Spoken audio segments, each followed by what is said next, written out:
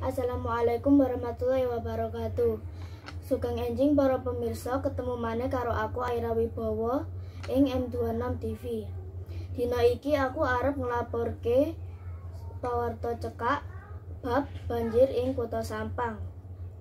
Banjir lan udan dikandani angin gede ing Dusun Timur, Desa Jamak, Kecamatan Kota Sampang, Jawa Wetan. Bencana mau ngobrak-abrik tanduran parine para tani nganti bosah basih.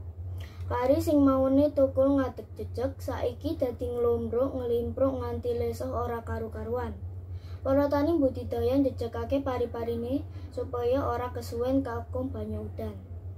Yen ora diangkat, iso bosok lan ora payu didol, amarga wis ora kena dipangan. Senajan iso dipangan, rasane uga wis ora enak. Kandane Sutiem mbok tani ing papan kono Rebo 13 April 2016.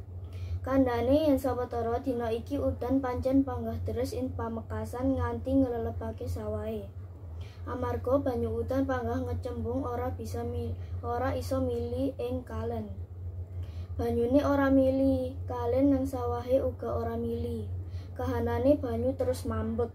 Kandane Sutiem mbacutake. Sutiem njlentrehake parine kudune dorong iso dipanen nanging amarga kahanane ora layak mula bakal dipanen seminggu kas. Tuku santen nang pasar Blora cukup semanten pawarta kula.